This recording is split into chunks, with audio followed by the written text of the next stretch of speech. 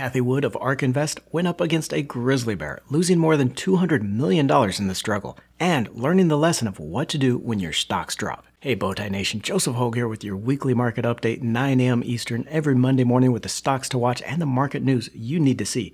I'll detail that stock that went wrong for Wood, but more importantly, what you can do when a stock you own plunges or comes under a short attack. Stick around after that. We'll do our stock market update with the stocks I'm watching this week, including what could be some very good news for GameStop and Walgreens and how to invest. But first, all you out there in the nation know real estate will always be a special place in my portfolio. I started out as a commercial property analyst, and no other asset class has created as much legacy wealth as real estate. But nearly every side of the real estate market has been crushed on higher interest rates. Real estate stocks were barely up last year and down 25% the year before. In fact, right now, the only safe place in real estate seems to be the single family rentals. For that reason, I'm investing through the Arrived Homes platform instead. Instead of investing in a fund of properties, you get to invest directly in the individual homes. Each investment is a separate LLC, so you have a direct investment. You earn dividends on the rental income paid out every quarter, with dividends from 3 to 8% on rent, and then price appreciation when the property is sold. Upside price returns have been as high as 136% and usually over 5 to 7 years. I know you have a lot of questions. I know I did before I started investing, so I'm going to leave a link in the description below to the platform. One thing, the homes available for investment sell out fast, so make sure you click through and get on the notification list. I missed out on a lot of good properties for not being on that notice list, so Look for the link below in the description or just scan the QR code here. Back to our main topic though, Cathie Wood and ARK Invest built a stake of more than $220 million in TuSimple Holdings after its April 2021 IPO that saw shares rise to over $60 a share. The autonomous tech company was trying to be the first to develop a self-driving system for commercial trucking, an industry that could have been worth tens of billions of dollars. But shares plunged when New York-based short seller firm Grizzly released a report in August 2021, crashing the stock to $30 each, though it did snap back to $50 when Wood and ARK Invest doubled down to buy more. Grizzly accused TSP of systematically lying and misrepresenting key information about the company and the technology, including refundable revenue, customers posting no deposit on orders, and founders with a long history of failures and bankruptcies. Finally selling out of the position late 2022 at around $2 a share at an estimated loss of $200 million, Wood told Bloomberg in an interview that ARK sold because of the departure of its founding CEO, the technology visionary of the company, and saying that while Grizzly got the stock direction right, not for the right reasons. Now, for its part, TuSimple blamed the stock price on a mix of managerial issues and difficulty in developing that autonomous technology. The company has since delisted from the US market and is refocusing on the Asia Pacific region. Now, folks, investing in new and disruptive technology, as ARK is known for, is always going to be extremely risky, and there will be total losses in some cases. It's very much like the companies I used to look at as a venture capital analyst, those unprofitable but growing companies set to change the world. And you see that picture here in research by Willamette of venture investments. You see that even those placed by professional analysts, more than 5 in 10 companies produce a return of less than the initial investment, less than 1x, and many return nothing. It's only these 10 and 20 and even 30 times returns that balance out the portfolio for a solid overall returns. So if you are going to be investing in these kinds of new, fast-growing companies like autonomous driving, uh, artificial intelligence, and space exploration, you need to be ready for these kinds of big drops in a stock and need to know how to react. First is to honestly review the bear case against a stock. Uh, this should be done before you buy a stock, seeking out that other side of the analysis to develop a whole view of the risks. Even more though, after you buy a stock though, we tend to fall into that confirmation bias where we only look at research that confirms our outlook on a stock and just downplay any bad news. Hell, I've even seen comments on videos when I present the downside case where, where an investor complains that if everyone would just stop saying negative things about a stock, the price would keep going up as if that's how investing really worked. Nation, I know it sucks to see a stock you own fall, but you cannot shut out the factual and thoughtful analysis just because it says something you don't like.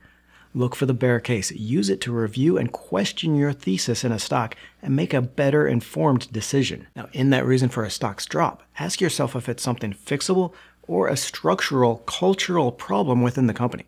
A fast growing company can rebound from a missed quarter of sales.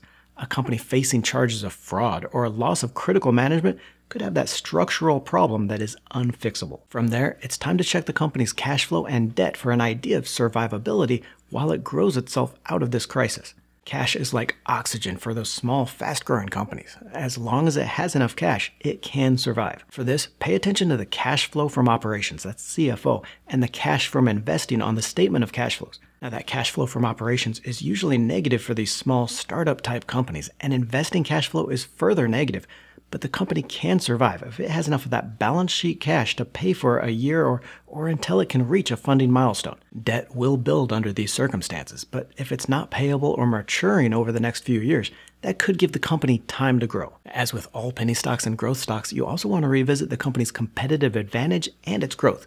Does it really have something that sets it apart from its competitors? Uh, how is its revenue growth versus its peers? And is it taking that market share in the industry, or basically just another also ran? Now, I revealed my favorite measure for these types of stocks in a video a couple of weeks ago, the Rule of 40, where you add up the revenue growth plus the earnings margin, the EBITDA margin. Companies that are able to post an above 40 level on this, so revenue growth plus EBITDA margin of over 40, are set to create long term value. From these questions, you should get a better view of whether to sell the stock or even buy more. If nothing else, the time to research these questions is going to help you avoid any knee jerk reactions that you will regret later. Now, if you do sell, it doesn't mean you have to sell your entire stake. You could cut the position, taking a tax loss on part of it while still holding on to some for a potential rebound, but avoiding those larger losses. Similarly, if you decide to double down and buy more, it doesn't mean you have to literally double the position all at once plan to leg into new shares over the next three to six months, where maybe you buy another third more of your position now, but then the rest over the next three or four more buys. This is going to take advantage of that sudden drop in the price and dollar cost your average lower, but it's also going to avoid those steep losses if the stock continues to fall. On to the stocks I'm watching this week. First up, Walgreens Boots Alliance, ticker WBA, reports earnings Thursday with investors waiting on news around any potential spin offs or asset sales. Shares have continued lower this year, but I expect could get a very strong boost as the company announces significant changes, selling many of its non core assets and possibly even larger sales. Shares trade for just six times this year's expected earnings and are very attractive on an enterprise to revenue basis as well. The only overhang here is its $34 billion in debt owed, paying off of which will be a key part of those asset sales. GameStop, ticker GME, reports earnings Tuesday and seems to have lost some of its meme stock status, with shares down 27% from the beginning of the year. There could be a nice surprise for investors Tuesday, though. It's been 12 weeks since the company announced that CEO Ryan Cohen was allowed to start investing the company's balance sheet cash into equities. Now, while equities may not be a part of that Q4 earnings reported, the stock market is up 12% since that, and management might highlight the windfall profits on its cash. Earnings are expected at 29 cents a share, almost double last year's quarter, but the company is expected to see revenue deteriorate at 6% a year this year and next. An investing windfall could be enough, though, to shake out some of the short sellers and, and have investors talking about this stock once again. SoundHound AI, ticker SOUN, is down hard from its recent peak of $10 a share, but still up 62% since recommending it in mid February at $3.77. Now, I like it at this level and am adding more shares to my position, though also selling some covered calls against the new shares to lower my cost further. Selling the January 2025 $10 strike calls for $1.40 each lowers my cost to just $4.74 a share. that gives me a further 23% discount, but still a 110% upside to that strike price. Showing you the bigger picture here with the Sector SPDR Sector Tracker, great free resource on the internet. 10 of the 11 stock sectors did rise last week, with real estate being the only group to see closing lower. Our shares of FedEx jumped 12% on the week following a strong earnings report, with the logistics company offering a good sign for the overall economic growth. Just under 400 of the 500 stocks in the S&P 500 index did rise for the week. That's a good sign for breadth across the sectors. Now, the real estate sector wasn't quite as bad as it seemed though, with 20 of the 31 real estate stocks in the sector rising higher.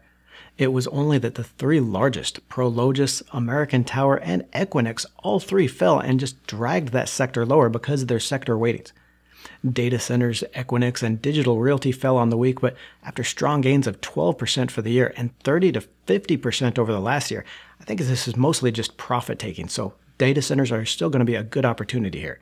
Cell tower stocks American Tower and Crown Castle also fell last week, but are at good valuations on lagging performance over the last year. Check out Arrived Homes, how I'm investing in real estate right now, and get on the notification list for new properties with the link below. You'll get dividends up to 8% a year and strong property appreciation, so make sure you check that out. Or click on the video to the right for how I'm investing $1,000 for dividend income every week. Don't forget to join the Let's Talk Money community by tapping that subscribe button and clicking the bell notification.